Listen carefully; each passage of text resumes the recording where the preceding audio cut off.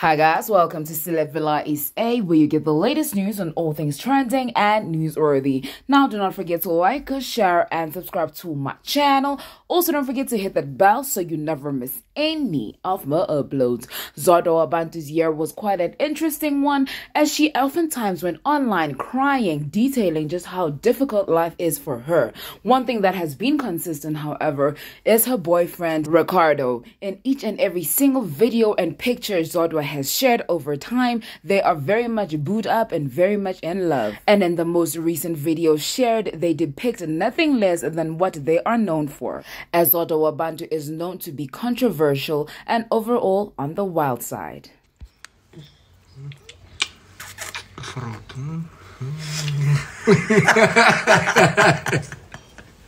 Kitty guy today, 27 Tuesday, Tuesday 2022.